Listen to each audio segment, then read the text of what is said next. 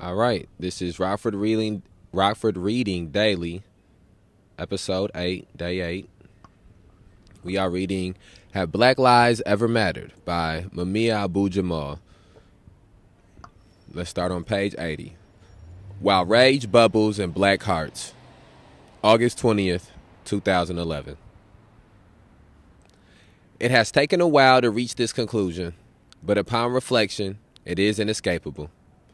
Why, after over half a century of black voting and the election of more black political leaders than at any time since Reconstruction, are the lives, fortunes, prospects, and hopes of black people so grim? Our education system is in shambles, with the dropout rate nearing 50% in most central cities. Black communities are either ignored or gentrified into oblivion. Joblessness stalks families by the highest percentage since such figures were first recorded and black families face foreclosure and its and its concomitant result, homelessness, at rates far exceeding those for any other demographic.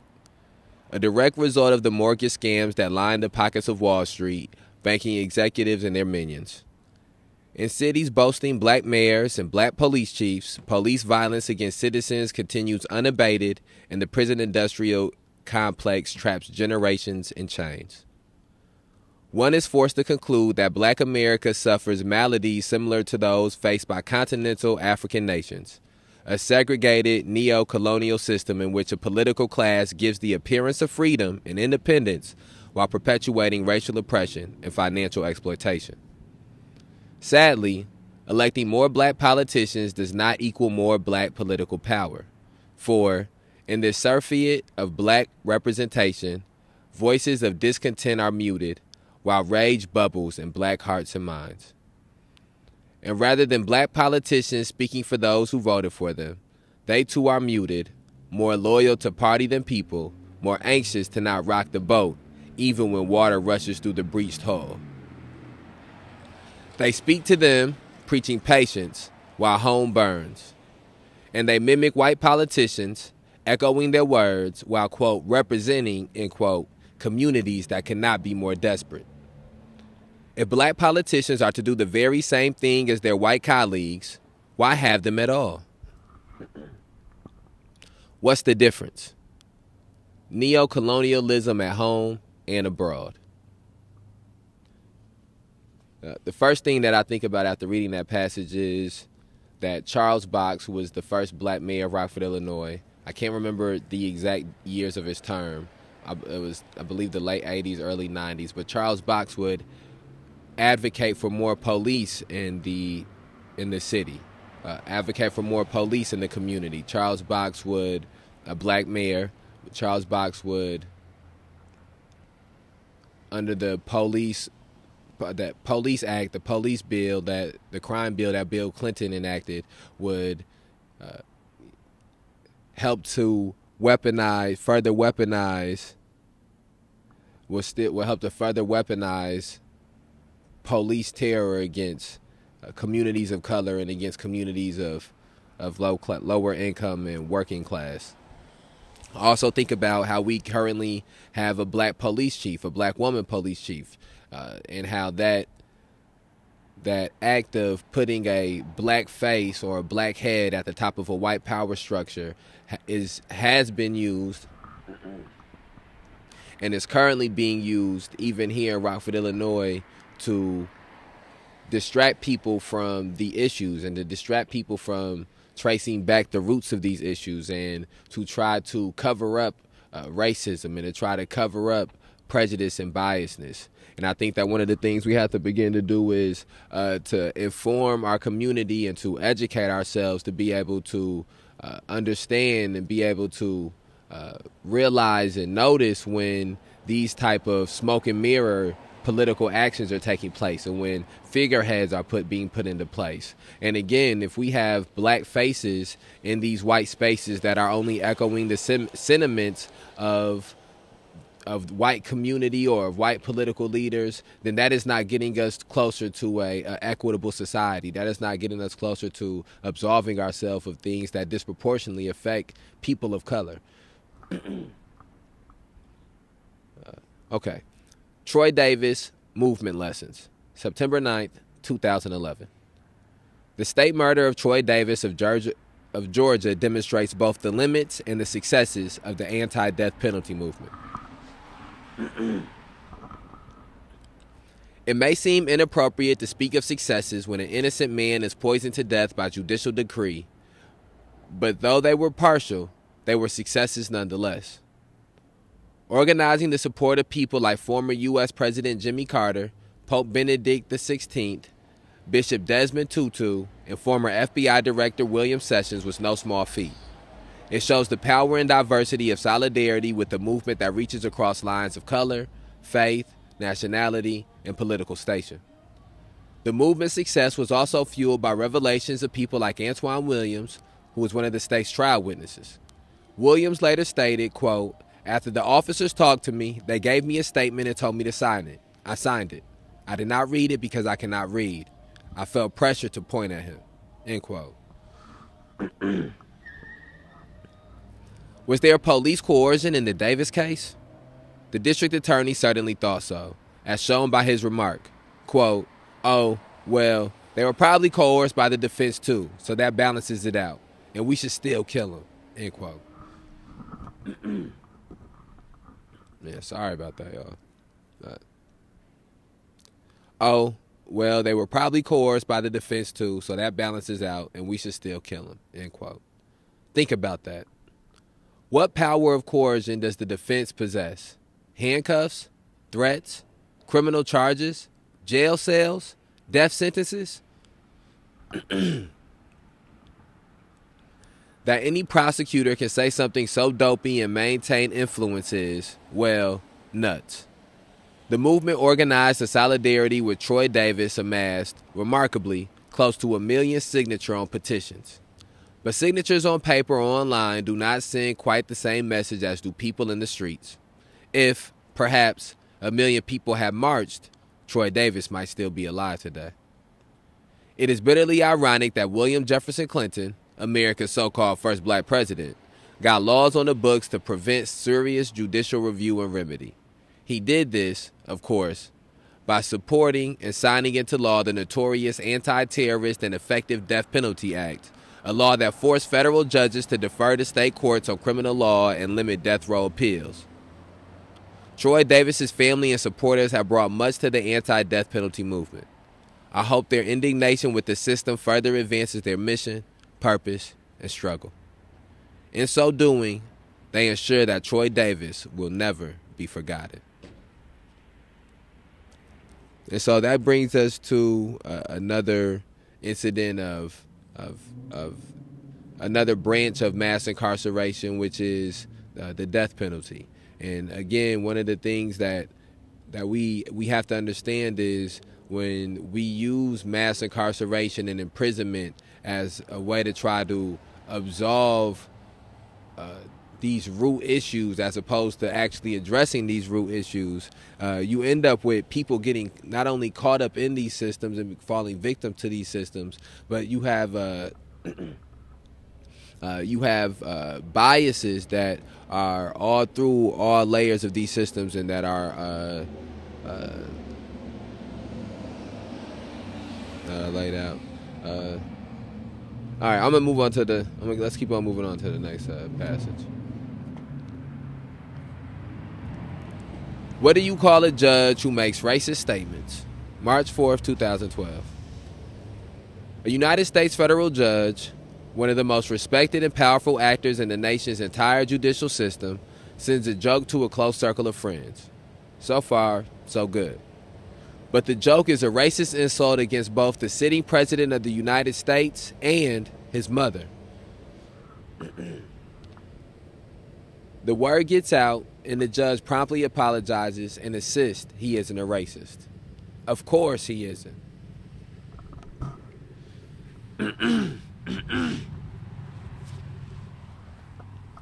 a judge, someone sworn to protect the legal, civil, and constitutional rights of all U.S. citizens, privately distributes racist jokes about the President of the United States, but he's not a racist. Indeed, if the media are any measure, the only people portrayed as racist these days are black people, like Minister Louis Farrakhan or the late Dr. Khalid Abdul Muhammad. A few years ago, I saw a man standing in a Ku Klux Klan robe announce on a nationally televised talk show that he wasn't a racist. When no one is racist, then racism becomes invisible. It becomes the province of, quote, hypersensitive, in, in quote, blacks who are called racist when they point out racism.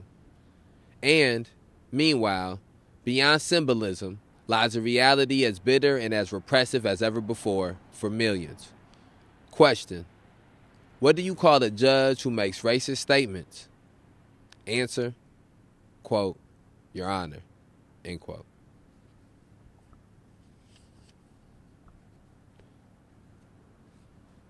The Trayvon Martin case, April 12, 2012. News of the Trayvon Martin case has rushed around the globe at cyber speed, due in large part to social media. It had all the markings of a national tragedy, and of course, is an ongoing one, despite recent charges. But what seems most overlooked in all the news and reporting is an understanding of what has historically come before. Florida has a long and nasty history of events such as these, but often the antagonist is a cop, not a civilian playing cop, as is the case here. In May 1980, Miami's Liberty City erupted into an orgy of flame, rage, and righteous indignation stemming from the police beating of 33 year old Arthur McDuffie, a black insurance executive. McDuffie wasn't just beaten, he was beaten to death by four police officers. An all white jury later acquitted all four of all charges. My memory of McDuffie could have been su- excuse me. My memory of McDuffie could have been substituted by a slew of other names, most long forgotten by all but family or friends, casualties of a long and dirty war waged by white supremacists.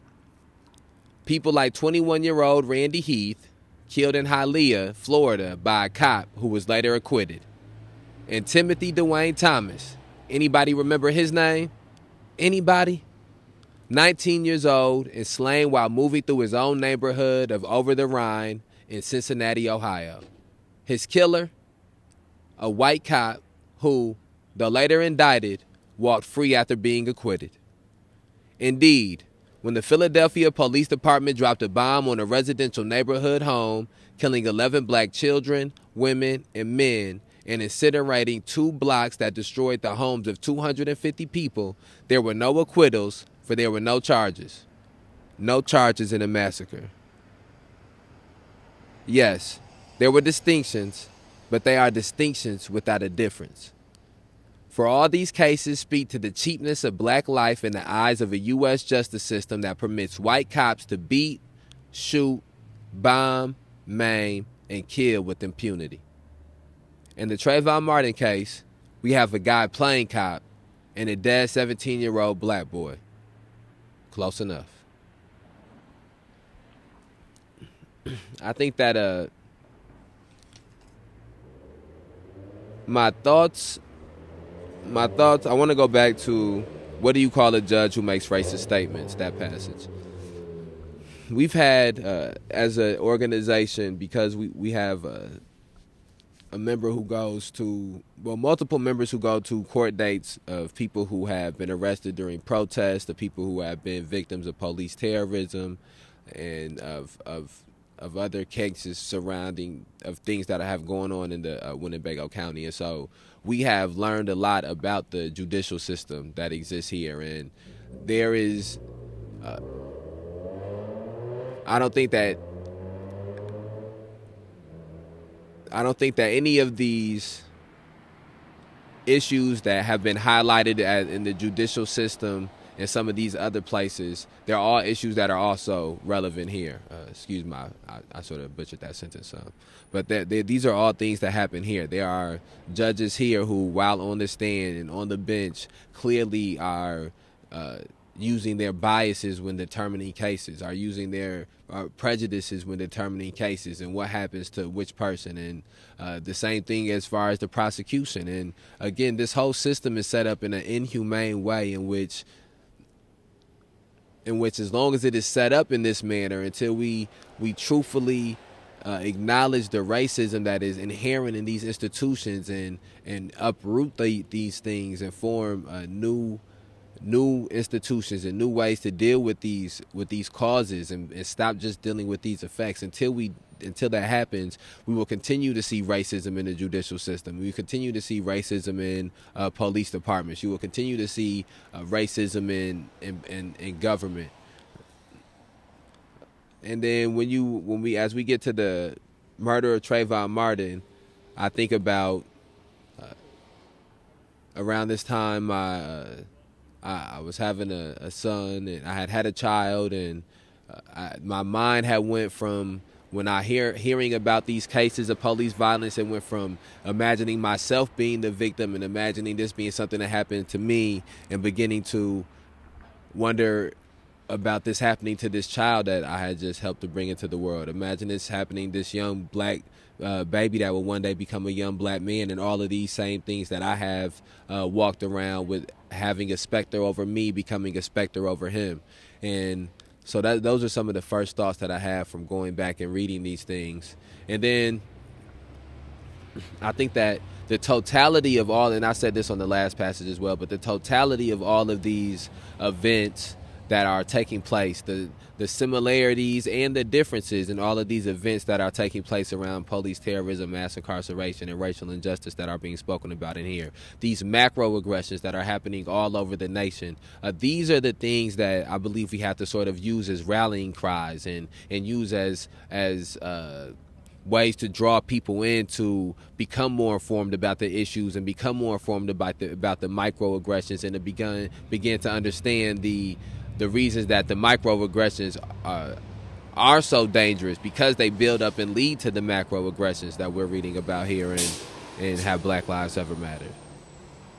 And I think another thing that's happening is as we continue to read through these passages, the the answer is being presented to you when the question from that is being asked by Mumia Abu Jamal, the question of have Black Lives ever mattered? Uh, and on page 88, the answer continues to be no. For Rodney King, the struggle is finally over. June 17, 2012. Mention the name Rodney King and people react. They might react in different ways, but they react. For almost no one is neutral. His name is evocative because it ties you to one of the biggest urban rebellions in U.S. history. The 1992 Los Angeles riots followed the acquittal of a flanks of cops who beat King brutally, an act that was documented on videotape. When a predominantly white jury in Simi Valley acquitted the cops, LA streets exploded in rage. Not since the 1960s have we seen riots so intense or so destructive. The riots made Rodney King famous or infamous, depending on one's perspective. The image of Mr. King, his face battered, asking plaintively, quote, Can we all get along? End quote, has entered the realm of history and with it a question we have yet to answer truthfully. Rodney King, age 47, was found dead early Sunday morning at the bottom of his pool, apparently drowned. For Rodney King, finally, the struggle is over.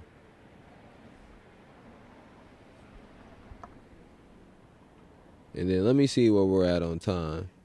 Uh, are we only on 18 minutes and 46 seconds? Let's keep on going. Trayvon and the War Against Us, June 19, 2012. For a brief moment in time, the name and fate of Trayvon Martin broke through the daily media fog and touched the lives of tens of thousands of people, motivating them, mobilizing them, and moving them to take direct action against the gross inaction of the state. Mobilizing them, sorry, I fumbled that word. Youth across Florida walked out of high schools and took to the streets People in dozens of cities marched, seemingly spontaneously, against the racial caste system that seems to consider people of color to be guilty until proven innocent. Many of these young Americans took their anger to the streets because they sensed an unsaid truth. It could have been them. It could have been them. And these protests take place amidst the greatest institutional violence against blacks since the height of the civil rights movement.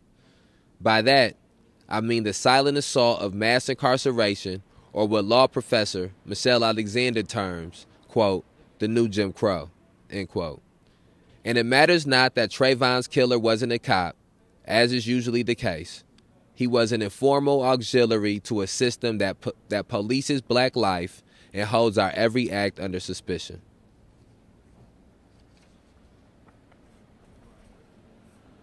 The South, for centuries, was an armed white army in which every white male was empowered by law and custom to control black life by any means necessary.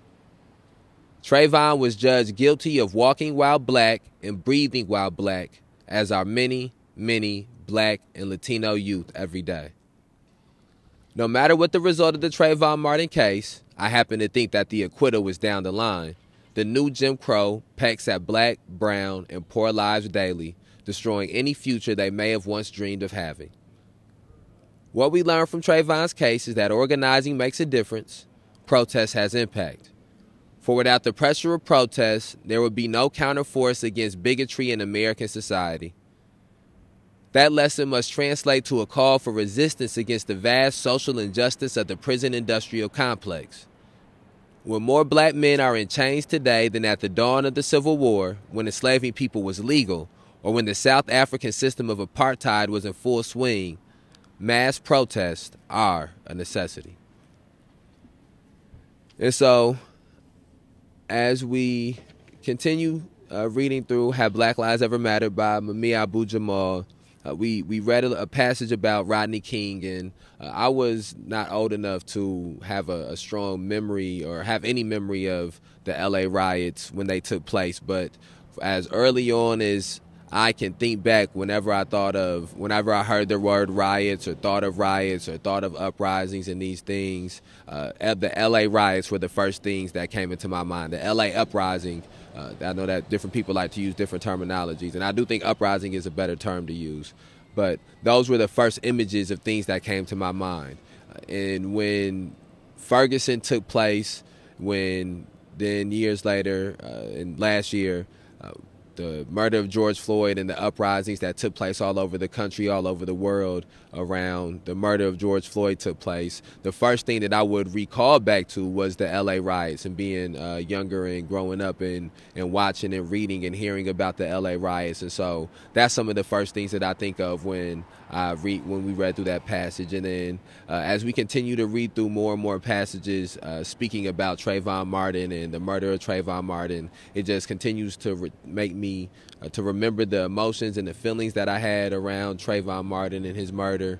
And I remember knowing before, you know, we haven't and we haven't got to the point of talking about uh, George Zimmerman being found not guilty, but I remember knowing that he was going to be found not guilty understanding that he was going to be found not guilty of this. But for some reason, I had, and not for some reason, but I, I was still young enough to have a, a we outside, we outside, they out, they out on the dirt bikes, we outside, y'all. but I remember being young enough to be naive enough to to just be so hopeful that uh, this man would not be acquitted for this thing, for these actions, and and then in here in this passage, Mumia Abu Jamal also began to speak about the new Jim Crow, to speak about mass incarceration, the prison industrial complex. And one of the things that I have uh, learned in my journey throughout this struggle is that you cannot, once you begin to advocate against the macro aggressions of police terrorism, which are these 21st century lynchings, which are these police killings in the street or these white vigilante killings in the streets, you begin to have to try to find out where they originate from and why they happen so often and how often they happen in the places that you are at. And that complete and that ties you into learning more about the institution of policing. And as you learn more about the institution of policing, it naturally ties you to learning about the prison industrial complex and learning about mass incarceration and understanding the type of demand for prisoners that this country has built up and the uh, private the things that go into private prison and the and all you know all of these different layers that uh, that come with mass incarceration. And so uh, I believe that that is one of the things that had that that comes naturally as you begin to try to fight against the macro aggressions and I think that the macro aggressions are the things that draw people in or are the things that force people to, uh, or not force people, but stir people up enough uh, to want to find what they can do. And then once they begin to uh, try to find what they can do, it becomes incumbent upon organizers and uh, activists and community, uh, I don't want to say leaders, but uh, Van, the vanguard in the community to shift people's attention to also mass incarceration, to also to the racial injustices. Uh, let's see where we at on time. 25, 26. And We knock out one more passage. Tears of Sorrow and Rage, November 2nd, 2012. For decades, the Oakland Police Department has been the focus of fear. Fear because the agency, which years ago recruited heavily from the South, had people on staff that used their office to exercise their hatred of blacks through social repression and violence.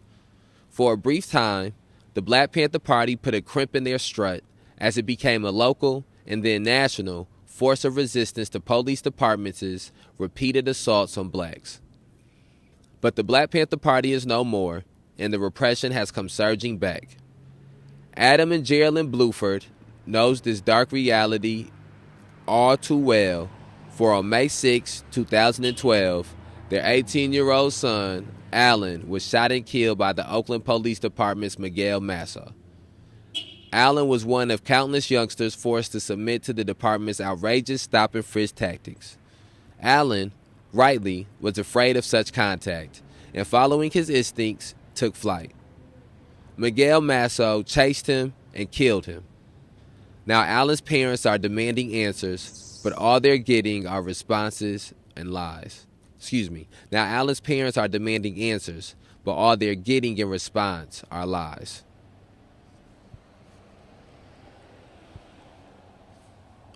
The story of what happened has changed at least a half a dozen times, and Oakland's political officials have promised much and delivered nothing. For, forced to support either those who voted for them or the Oakland Police Department, Oakland's politicians invariably opt for the latter. Thus, from the people that are sworn to represent them, the people get evasion, or worse, silence. For the Oakland Police Department has money and power. And when, ha- and when have you seen any politicians turn their back on either? As for the member of the family of the teenager whom they will never hug again, they continue to organize resistance to the menace of state violence, impunity, and repression. This was this was the first time that I've heard first time that I've heard about Alan Buford, Alan, Alan Blueford, excuse me. And again, we get to a place of, and it's just, you know, makes me think of Tyrus Jones, who was chased and shot, Jose Gonzalez Jr., who was chased and shot, Little Mike Seiko Jr., who was crawling away and shot, and how often Mark Barmore was shot in the back. How often people are shot in the back or shot while fleeing, and uh,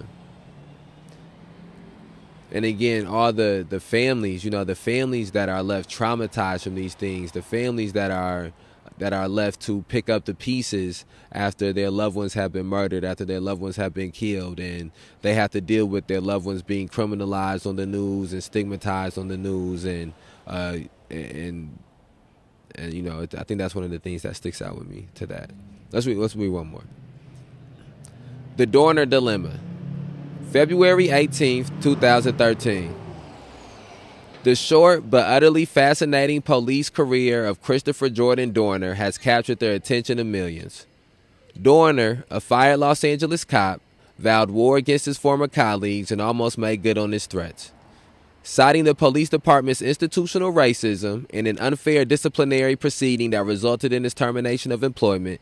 The ex cop pledged the exact revenge and unleashed a deadly rain of bullets on several of his fellow officers. Trained as a sniper in the agency's elite squads, Dorner sent shockwaves of terror through the highest ranks of the agency by targeting the families of officers. For 10 days, he struck and moved, leaving the urban landscape for mountainous territory nearby. After a series of shootings, he escaped to an abandoned cabin where more than 100 cops eventually converged to permanently, quote, retire, end quote, the former cop. Using pyrotechnic tear gas, They launched a grenade into the cabin, covered the doors, and waited for the raging fire to do its work. The blaze raged for hours, the last weapon deployed in Christopher Dorner's war. Many are left pondering the forces that triggered Dorner. Fired after a questionable internal hearing, this black cop turned on the very forces that had this black cop turned on the very forces that had trained and nurtured him. He was called a quote monster, end quote, and worse by reporters, pundits, and police. If true, he was a monster of the LAPD's making. What did he see? What did he experience that turned his heart to ice? We may never know. But we await the next Dorner, angry, embittered, soured on the job, and determined to deliver his own, quote, burn notice, end quote. Okay, and then we'll end this for reading daily on that note. Uh, if you please go and listen to previous episodes, if this is your first time tuning in, uh, if there's more episodes out by the time you hear this, go listen to the newer episodes. Share this on whatever platform that you're listening to it on. And again, we put out these Rockford reading dailies to give everybody an opportunity to begin to. Uh, take part in the, the struggle against police terrorism, mass incarceration, and racial injustice every day, and to also offer the opportunity for people to, to uh, further progress on the journey to struggle against police terrorism, mass incarceration, and racial injustice every day. All right, we outside. I'm going to end it.